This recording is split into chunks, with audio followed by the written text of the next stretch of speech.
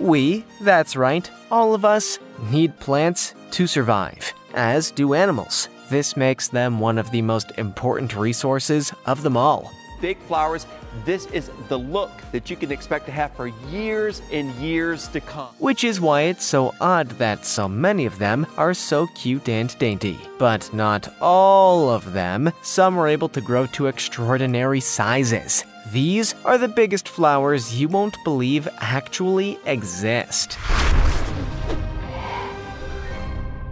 Number 15. Titan arum.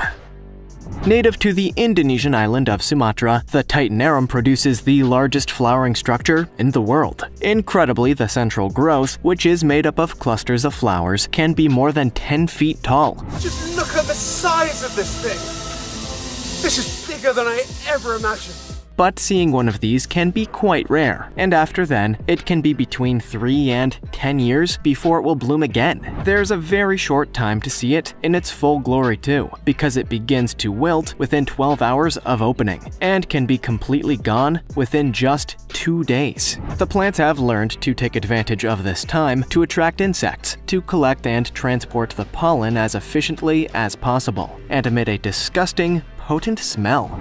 It's got this crazy, disgusting smell. They're often called corpse flowers because of the putrid odor, but this draws in insects that either eat or lay their eggs in rotting meat. To further encourage the spread of this smell, the plants produce a large amount of heat that ensures it disperses into the air, which means you don't have to be very close to the Titan arum before you're fully aware that there's one growing nearby. Like this video, smash the subscribe button, and click the notification bell right now, or this centipede will crawl on your face when you're sleeping. Number 14. Rafflesia arnoldii. The Rafflesia arnoldii is known for producing the largest single flowers of any plant species on Earth. Endemic to the islands of Sumatra and Borneo, they are one of Indonesia's national flowers and grow deep within the rainforests. It's rare to see one in the wild, but when you do, there's nothing quite like it. They rely on insects to pollinate, so emit a horrendous smell of death to attract them into the flower, which has led to them also being known as the corpse lily. The flower itself will grow to around 3.3 feet in diameter and can weigh as much as 24 pounds. Hence the common name of the corpse flower. It smells of rotting meat. Furthermore, these don't emerge from large plant structures, but instead are a species that lives as a parasite on several types of vines. There are, therefore, no leaves, stems, or roots, and they instead grow strands in a similar way to a fungus that take the nutrients they need from the plants that they're growing on. Rafflesia arnoldii are difficult to find in the rainforests. Their buds take many months to grow, and when they're ready to open, they are only able to collect enough nutrients to support the massive flowers for several days at a time. Number 13. Talipot Palm Flower native to India and Sri Lanka, but also commonly grown in other countries around Southeast Asia, the talipot is a species of palm that can grow to up to 82 feet tall. And in the upper reaches, it produces a cluster of flowers over a network of branches that can be up to 26 feet long. This mound contains millions of small flowers and is the largest such structure produced by any plant in the world. Amazingly, each talipot palm will only produce one of these once in their lives. They grow for between 30 and 80 years before they're ready to bloom, and at the same time, they will also produce thousands of small yellow fruits that take around a year to fully ripen. Once the fruit are ready and begin to fall, the tree's use is over, and it will die soon after. Not only are these trees stunning to look at, but they're also very important to the local traditions of the region. For centuries, their leaves have been used as writing parchment, in particular for transcribing religious texts, as well as being vital ingredients in a number of herbal remedies for the incantations made by soothsayers. Number 12.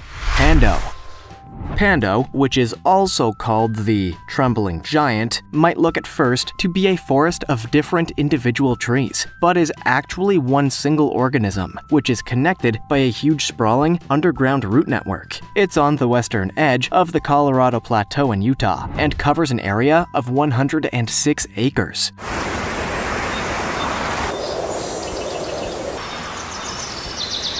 Genetic analysis has proved that all the different parts are part of the same whole and is thought to be one of the oldest living organisms in the world, at more than 80,000 years old, and the heaviest living structure with an estimated weight of at least 6,600 tons. Despite its age and the fact it's been alive for almost as long as people have been on the planet, there are signs that suggest Pando is slowly dying, although the causes for this aren't entirely clear. It's thought it's happening as a result of drought, human activity, and wildfire damage, and hasn't grown any larger for the last 30 years. It's quite likely that Pando won't be around for much longer, so the race is on to study it in as much detail as possible to understand this mysterious network of trees and hopefully help to protect any similar formations in the future.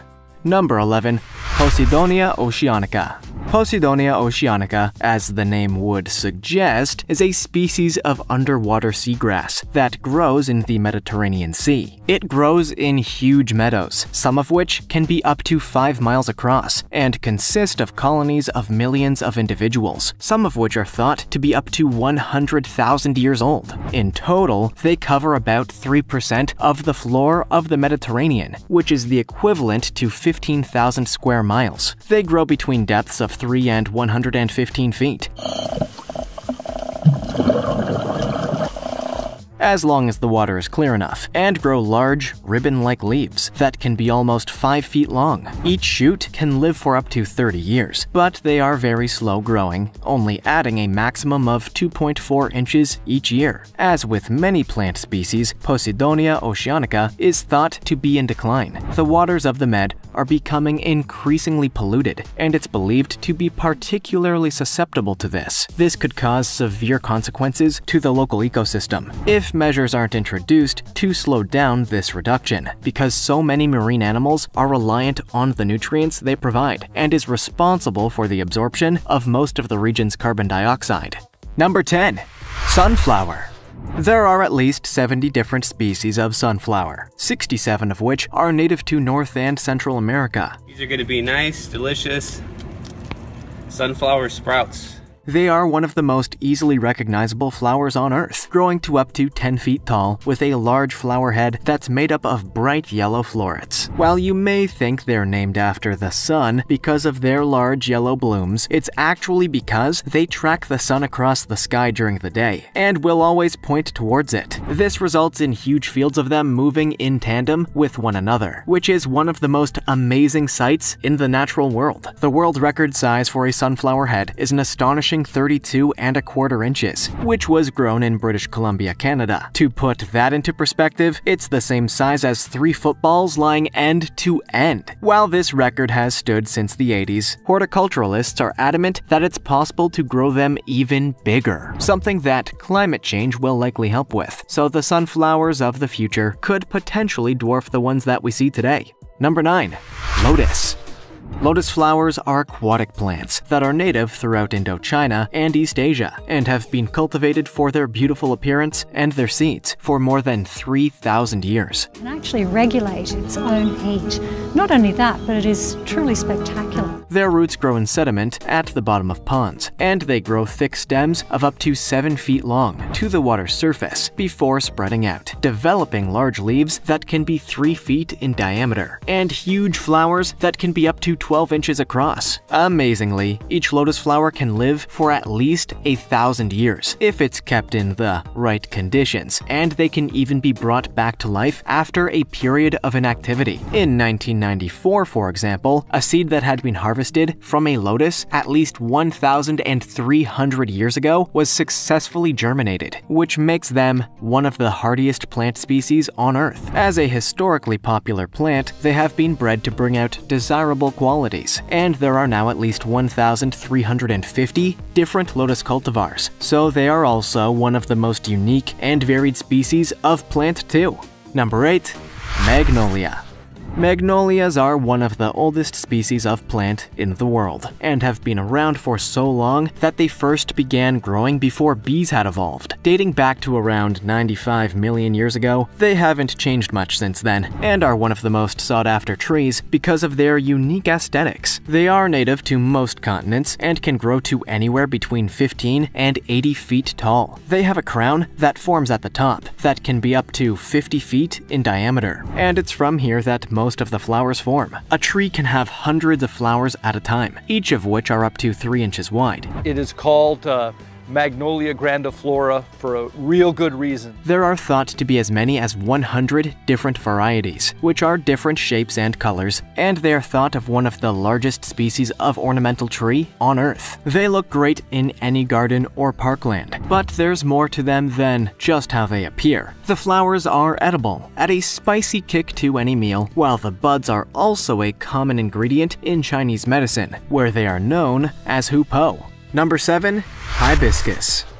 There are several hundred different species of hibiscus that are native to most tropical regions around the world. While they come in a variety of different colors, there's one thing that's common to all of them. They're surprisingly large, showy flowers. The big flowers, this is the look that you can expect to have for years and years to come. They are trumpet-shaped, with at least five petals and a curved edge all around. Commonly seen in colors ranging from white and pink to red, orange, yellow, and purple, the flowers alone can be 7 inches across. They are a hardy species that can be grown in a range of environments and are popular for use at home because of their vivid colors and the way that they attract butterflies, bees, and possibly even hummingbirds. They also have a series of traditional uses, such as ingredients in Indian medicine, as a garnish or sweet treat in Mexico, and even for producing paper and rope. Hibiscus tea is also very popular worldwide and commonly drunk both for its unique flavor and its health benefits benefits, such as assisting with lowering blood pressure and helping relax after a stressful day. Number 6. Tree Peony there are more than 33 different known species of peony that have originated from across Europe, Asia, and North America. This plant, because of the bloom on it, it is so so gorgeous. They prefer to grow in cooler climates and won't bloom where there's too much sunlight and warmth. In the perfect conditions, however, they can grow much larger than you might expect and are a popular choice for horticulturalists to add a splash of color to a garden. They are herbaceous plants, and some varieties can grow as tall as 11 feet. The flowers are the main attraction, though, and each shrub will grow a large number of them, each of which has at least 10 to 15 petals arranged in one of six different patterns and can be 10 inches in diameter. Peonies are a traditional floral symbol in China, where they have been cultivated for hundreds of years, with a particular focus on the ancient city of Luoyang, which is said to produce the best peony flowers in the world. Due to their stunning appearance, they have been depicted in artworks and legends throughout the years, and are a popular choice for tattoos in Eastern cultures, often alongside images of koi. Number 5.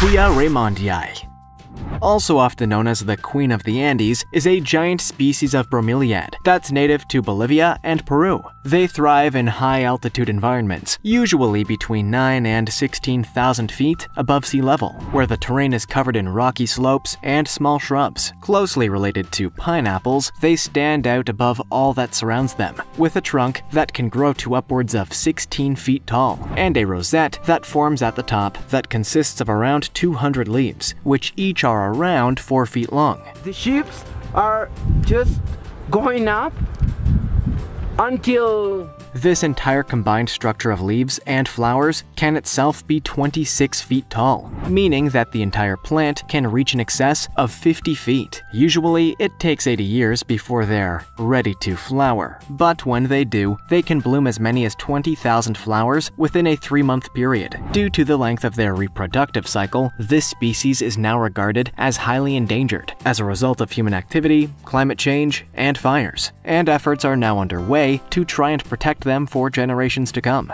Number 4.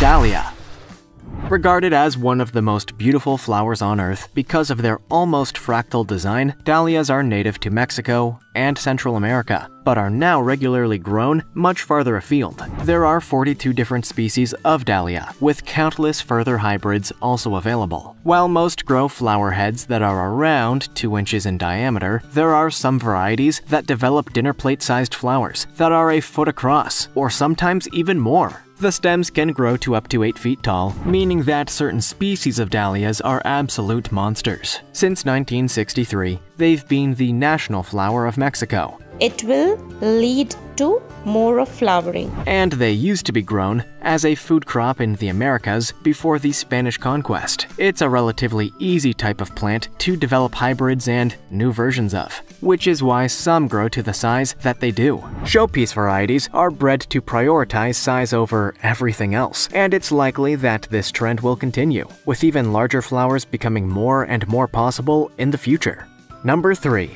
Delphinium Delphinium is a name given to describe more than 300 different species of plant, all of which are native to regions across the northern hemisphere. They thrive particularly well at altitude where other plants struggle, and have long been used in the production of deep blue dyes and medicines. Their name means dolphin, which is thought to have been given to them because of their dolphin-shaped flowers, some of which can grow surprisingly big. The stems of the flower tend to range in height, between several inches and 7 feet, and they can be a range of colors such as purple, blue, red, yellow, or white. This flower, which is a delphinium, I wouldn't call exactly blue. Flowers tend to have five petals, which grow in a way that forms a spur at one end, and can be several inches across. The reason why delphinium gives such a vibrant display of color, however, is that they grow flowers along the majority of the length of their stalk. If you see any in the wild, though, you should resist the temptation to touch and hold them, because every variety is toxic to both humans and most animals. Number 2. Oriental lilies. Oriental lilies are a specific hybrid strain of lily that are known for their particularly fragrant aroma and large size. They are very easy to grow and prefer to be in direct sunlight, and can soon become more than 36 inches tall, with a head of petals that's 14 inches across or more. Each stem can grow two flowers, with colors ranging from white and pink to purple or red. There are three cultivators of Oriental lily, known as Stargazer, Little Girl, and Emily. Their thirst for sunlight means they would face towards the sky. Look at that. It's as big as my hand.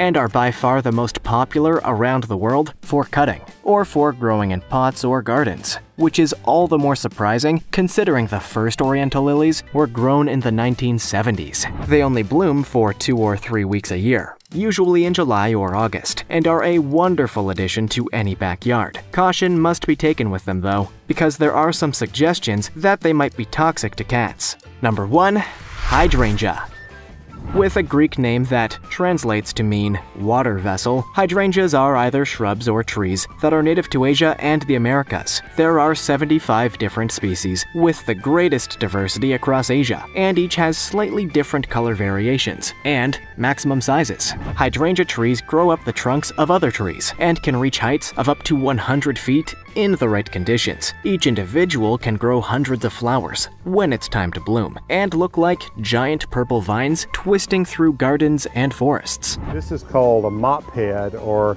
the big rounded head macrophylla hydrangea. They are extremely popular ornamental plants around the world, and there are at least 600 different named cultivars. Beyond being just a decorative flower, there's also a number of medicinal uses for them too, but they shouldn't be ingested in too high a quantity. The stems, roots, and the flowers of the plant contain a small amount of naturally produced cyanide, and if enough of this is allowed to build up in the body, it can lead to serious health complications and potentially death. Which of these flowers surprised you the most, and have you ever seen any of them in real life? Make sure to let us know in the comments section. Also, check out our other cool stuff showing up on screen right now. See you next time.